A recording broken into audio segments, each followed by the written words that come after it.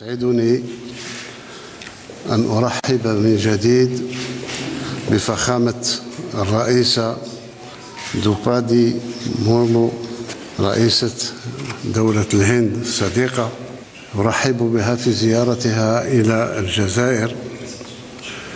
ولأول مرة تستقبل الجزائر رئيسا للهند.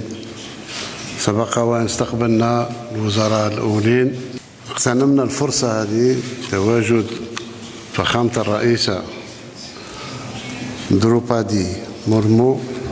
أجرينا مباحثات مكثفة تناولنا خلالها التعاون الثنائي وآفاق تطويره من جهة وتطرقنا من جهة أخرى إلى قضايا إقليمية ودولية راهنة.